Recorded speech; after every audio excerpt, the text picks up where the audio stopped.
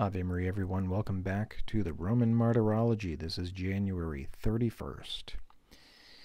The memorial of St. John Bosco, priest, who spent his childhood in hardship and, having been ordained a priest, dedicated all his energy to the education of the youth.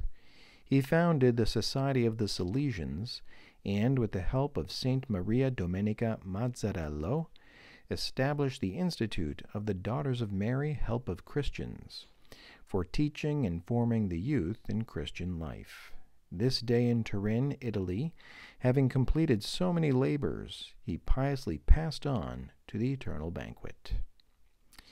At Corinth in Achaia, southern Greece, the holy martyrs Victorinus, Victor, Nicephorus, Claudius, Diodorus, Serapion, and Papias, who are said to have accomplished their martyrdoms through various tortures under Emperor Decius. The commemoration of Saint Metranus, martyr of Alexandria in Egypt, who under the Emperor Decius, when he refused to utter impious words commanded by the pagans, he was ferociously beaten and then stoned to death outside the city. Also in Alexandria, the holy martyrs Cyrus and John, who, for confessing Christ, and after many torments, were decapitated. At Modena, in the Emilia Romagna region of northern Italy, Saint Geminianus, bishop, who led his church from the error of the Arians to orthodox faith.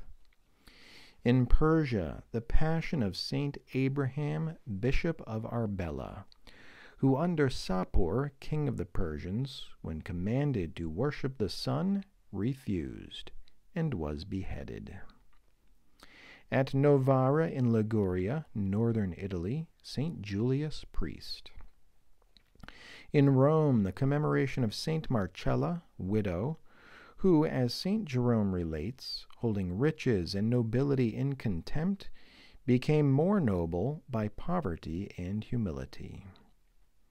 At Ferns in Ireland, St. Madoc, or Aidan, bishop, who founded a monastery there and became very renowned for his austerity. In the territory of northern France, St. Wulfrin, bishop of Evreux. On Mount St. Victor in southern Bavaria, St. Eusebius, who, born in Ireland, journeyed for the sake of Christ and became a monk in the monastery of St. Gall, and lastly hid himself as a hermit.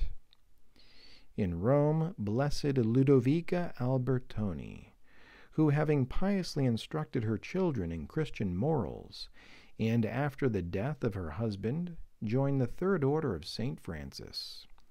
She brought help to the poor, and leaving her wealth, became very poor herself. At Naples, in the region of Campania, Saint Francesco Saverio Maria Bianchi, priest of the clerics regular of St. Paul, who, endowed with mystical gifts, brought many along with him to live under the grace of the gospel.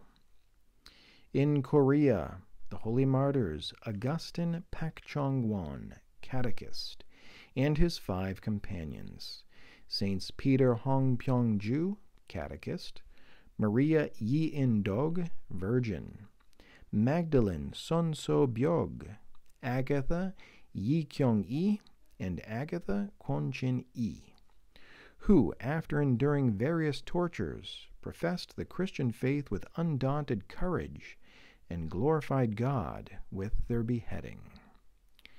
Precious in the sight of the Lord is the death of his saints. Ave Maria.